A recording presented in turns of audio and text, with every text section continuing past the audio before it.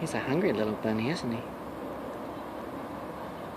We're about 10 feet away from him. He's just munching away. Maybe that's why they have a Black Rabbit pub here at McMenamins Edgefield and a White Rabbit wine. So there's lots of bunnies. And we all know that bunnies like to reproduce. That's why they call salad rabbit food. Look at him consume that. Look how fast. He doesn't even need dressing.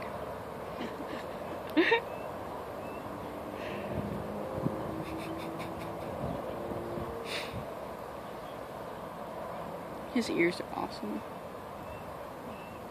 It'd be funny if you could understand what we're saying. Reminds me of uh, He's like, I can. Velveteen Rabbit. Yeah. I have to put a His rabbit into and all that. my Applewood Rose story.